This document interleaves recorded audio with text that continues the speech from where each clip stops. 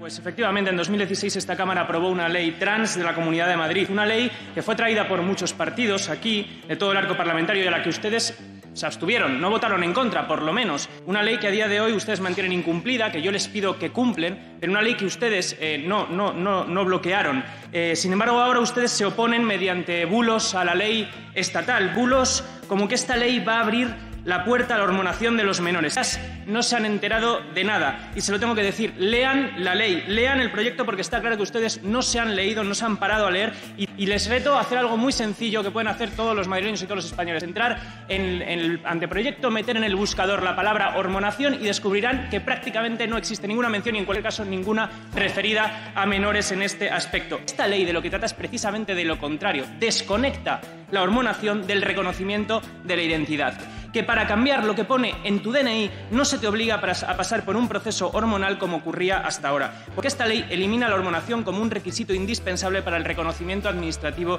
de la Administración. Y desde luego no sorprende que el Partido Popular se oponga porque ellos votaron en contra del matrimonio igualitario, lo mandaron al Constitucional, votaron en contra de la posibilidad de optar por parejas homosexuales, de la primera ley trans, del divorcio, del aborto y de todas y cada una de las libertades civiles en este país.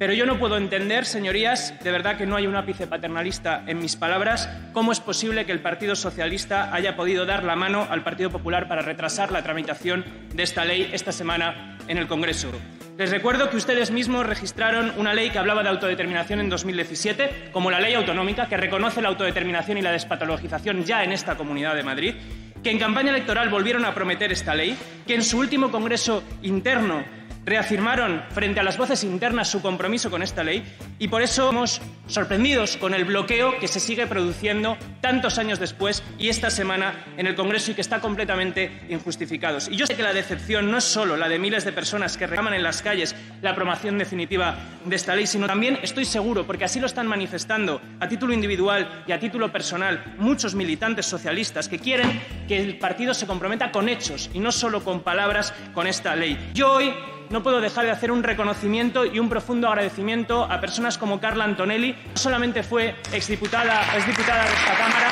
sino que además contribuyó con una huelga de hambre a la primera ley trans en 2007 en este país y que también aprobó, junto a muchos de los que estamos aquí, esta ley que reconoce la autodeterminación y la despatologización en la Comunidad de Madrid en el 2016.